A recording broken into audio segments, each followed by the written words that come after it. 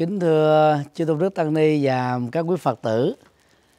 À, tôi à, đang có mặt tại chùa phạm ngư vào à, tối của ngày à, 16 tháng 10 à, âm lịch năm kỷ hợi ngày 12 tháng 11 năm 2019 quý vị vừa quan sát à, nhất trụ môn theo văn hóa của Phật giáo Hàn Quốc à, tạo thành một cái chữ nhất à, mặc dù là có bốn trụ nhưng mà đứng từ mặt trước hay mặt sau chúng ta nhìn thấy được ờ, một cái chữ nhất theo ờ, chữ Hán cho nên được gọi là nhất trụ môn.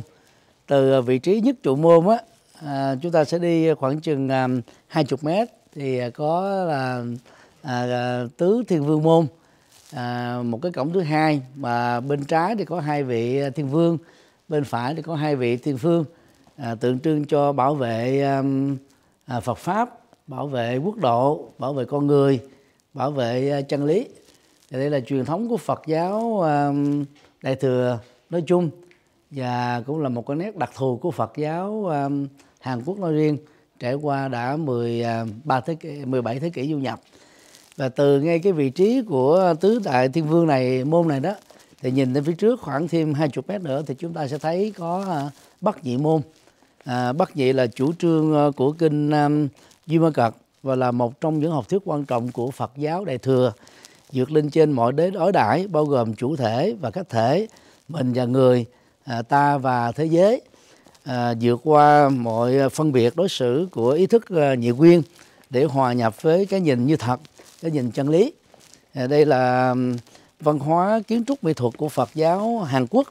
Thì thường à, chúng ta sẽ đi qua ba cổng nhất trụ môn tứ đại thiên vương môn và bắc nhị môn thì sau bắc nhị môn thì à, chúng ta sẽ nhìn thấy à, à, một cái tòa nhà được gọi là phổ tế lầu nơi để mà phổ độ quần sinh. Đó cũng là cái nhà khách để mà du khách có thể dừng chân lại sau khi đi vào ba cái cổng chùa.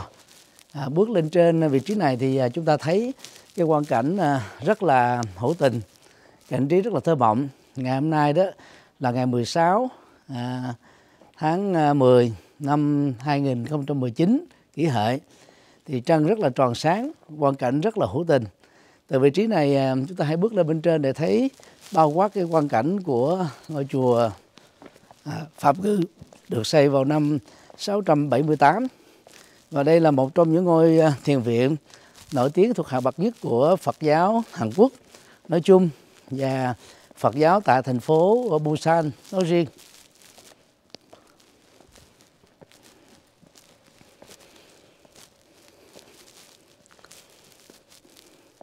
Ở vị trí của à, lầu à, phổ tế đó hãy nhìn xuống ngay à, cổng Bắc Nhị chúng ta sẽ thấy một rặng núi có trăng rất đẹp vào lúc này. Hoàn cảnh rất là thơ mộng. Nhắc nhở về cái à, nhận thức như thật để chúng ta trải nghiệm tâm bất nhị tâm không phân biệt. Nhờ đó phát huy được trí tuệ.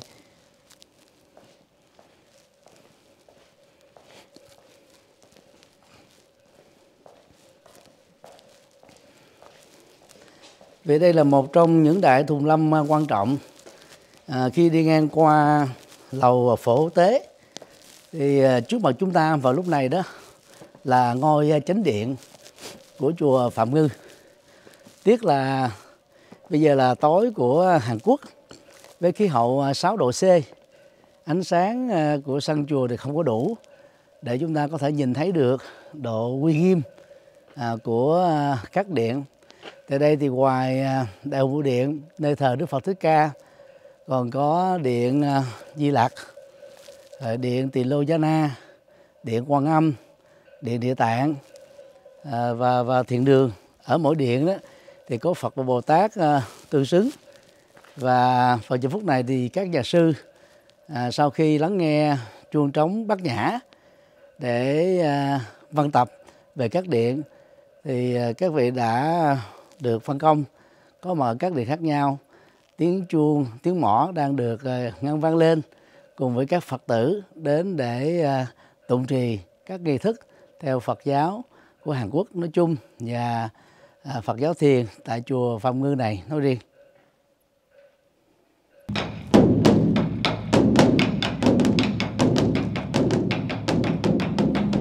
quý vị đang chứng kiến vị đại đức thứ ba đánh à, trống bát nhã liên hồi, theo văn hóa Phật giáo Hàn Quốc. Và nói tiếp theo là vị à, cuối cùng đang chuẩn bị bước ra.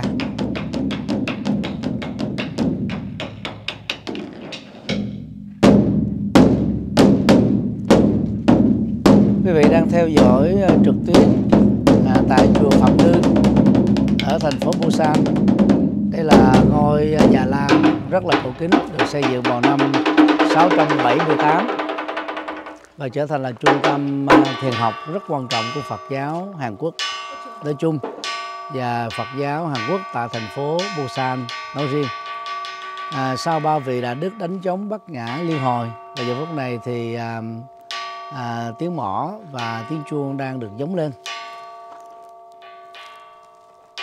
À, tăng đoàn tại chùa khi nghe chống Bắc Nhã liên hồi đã vân tập về chánh điện à, đây là ngôi chùa nằm ở trên um, đỉnh núi à, rất đẹp.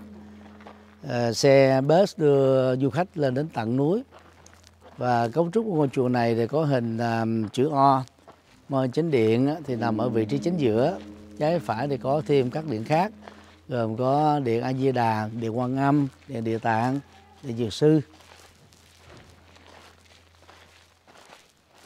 Tiếc là đầu chúng tôi đến đây đã tối, cho nên à, quý vị đã không thể nhìn thấy được à, tất cả các ánh sáng à, của ngôi chùa này. Để nhìn thấy được độ hoành tráng trang nghiêm của ngôi phạm vũ.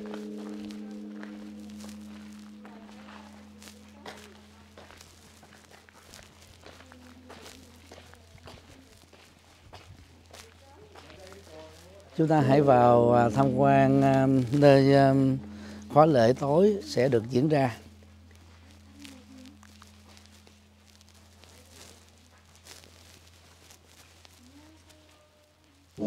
Vào giờ phút này thì các vị đại đức đang thực tập thiền. Vì đây là ngôi thiền tự quan trọng trong cộng đồng Phật giáo Hàn Quốc. Và tại đây thì có các nhà sư ngoại quốc cũng xuất gia tu học.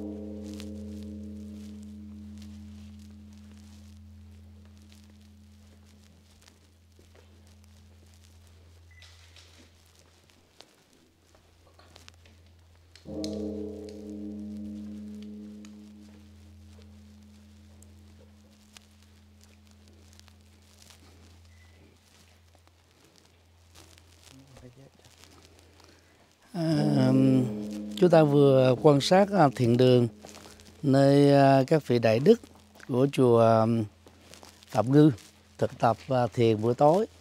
Sau khi lắng nghe các tiếng chống bát nhã và chua bát nhã như là một hiệu lệnh để nhắc nhở các hành giả quay trở về thiền đường để thực tập thiền.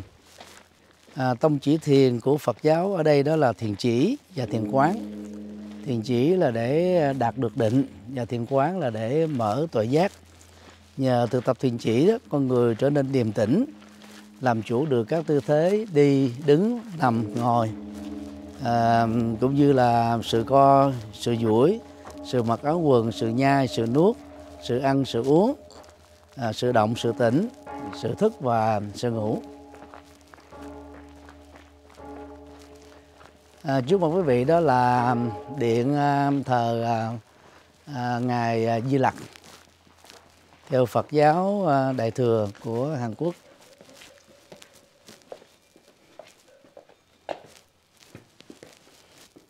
thì à, trong điện à, có một à, tượng Phật à, Di Lặc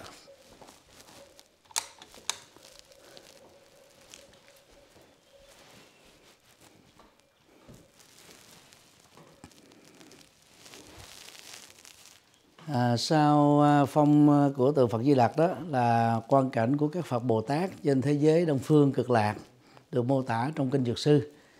Và hai bức tường à, xung quanh đó thì để hình các Phật Di Lặc nằm trong một cái quả địa cầu. Và bên dưới thì có tên của các gia chủ phát tâm cúng dường. À, địa dược sư nhắc nhở chúng ta về cách hành trì à, chất liệu thầy thuốc tâm linh à, vốn là tuệ giác và những phẩm chất cao quý của tâm mà con người cần phải nương tựa vào để vượt qua các nỗi khổ niềm đau trải nghiệm ăn vui hạnh phúc trong đời.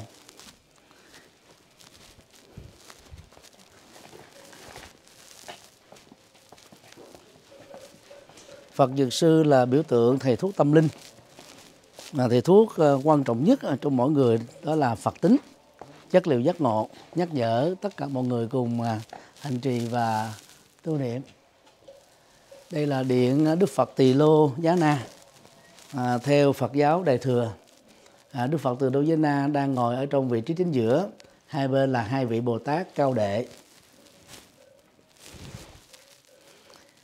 Và trong à, tòa này thì chúng ta thấy à, trái và phải cũng có à, các đức phật được tôn trí trong các quả địa cầu.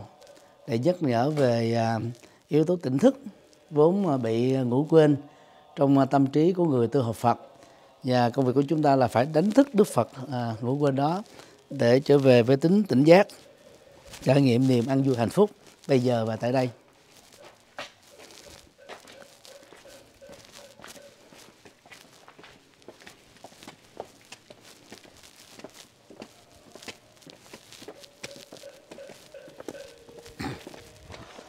Tham viếng uh, chùa Phạm Ngư. Vào giờ phút này là à, uh, giờ ban đêm. Uh, rất tiếc là chúng ta không thể nhìn thấy hết được. Trước mặt uh, của quý vị đó là điện Quan Âm nơi thờ Đức uh, Bồ Tát Quan Thế Âm. Và ở mỗi điện đều có các nhà sư uh, thay phiên uh, tụng niệm.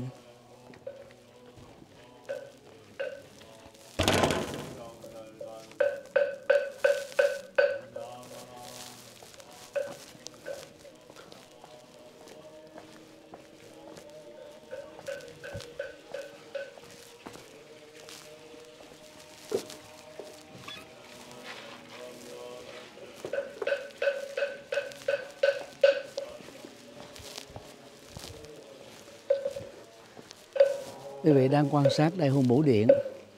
Thì uh, trong chùa đại hùng điện là thờ phật thích ca. Điện quan âm thì thờ bồ tát quan thế âm ở mỗi điện thì đều có một nhà sư phân công tụng niệm. Và để uh, trải nghiệm uh, tính tỉnh thức cũng như là ôn lại những lời phật dạy uh, được gắn kết với các điện thờ này.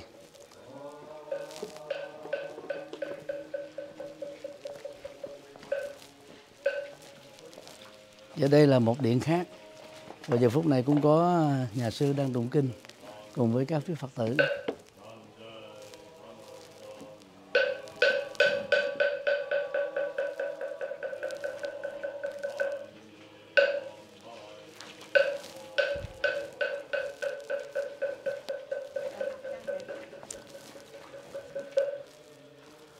Quý vị đang quan sát à, điện quan âm, nơi thờ à, rất nhiều tượng Bồ Tát Quan Thế Âm.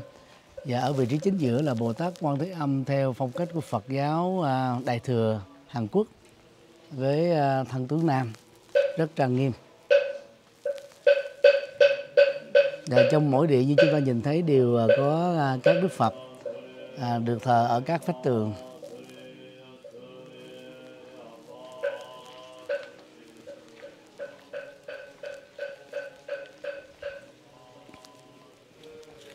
Từ vị trí à, điện quán âm và đại vũ điện nhìn à, ra phía trước đó đó là tòa à, thiền đường mà các nhà sư đang ngồi thiền.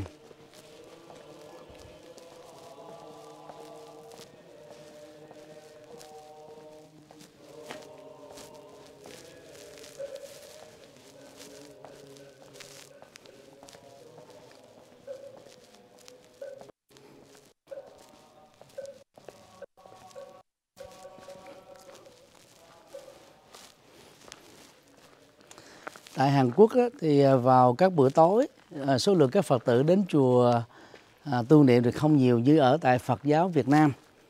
Thì hiện tại thì vào lúc này nè lúc à, uh, 6 giờ uh, 15 tối à, của giờ Hàn Quốc thì tại chùa Phòng Ngư thì chỗ có khoảng chừng à, 50 Phật tử thôi. Số lượng thì không được nhiều lắm.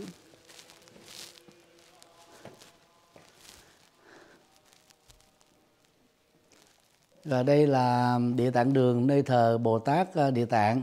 Và mười vị Diêm Vương à, theo tinh thần của kinh Địa Tạng Phật giáo Đại thừa.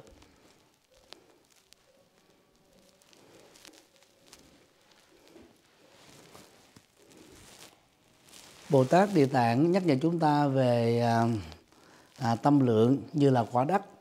Có thể chứa đựng hết tất cả các hạt giống dù là thiện hay ác phàm hay là thánh và à, tu tập theo um, Bồ Tát Địa Tạng đó thì chúng ta có một tâm lượng bao dung quảng đại vô ngã vị tha chịu đựng tích cực để chuyển hóa các hạt giống phàm trở thành các hạt giống thánh.